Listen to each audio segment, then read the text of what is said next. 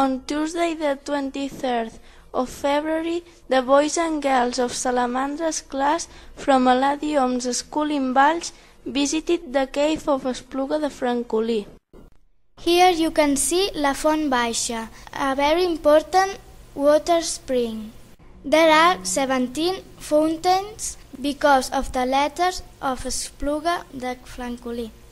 Here you can see La Font Major, the main water spring of River Francolí. There are free fountains where people can drink water.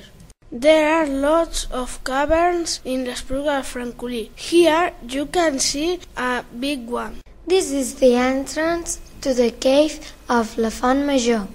During our visit to the caves of Espluga de Francolí, two expert teachers guided our work. Outside the cave, we learned how to make a tent. This is a very small cavern you can see in Espluga de Francolí.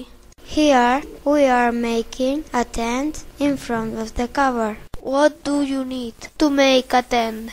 You need a lot of long and strong sticks and many branches.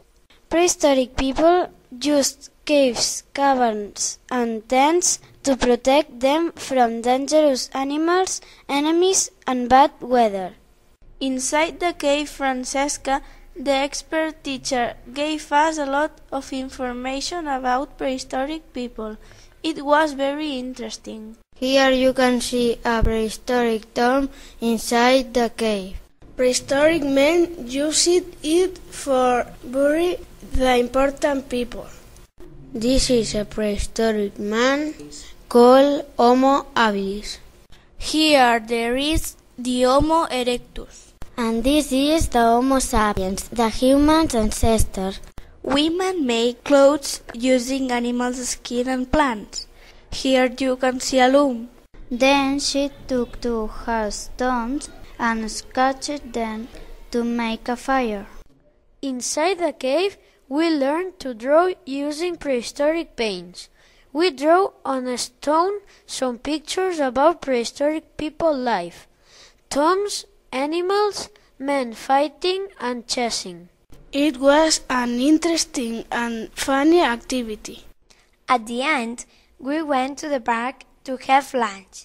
There, we met some boys and girls from La Canonja, and we made new friends.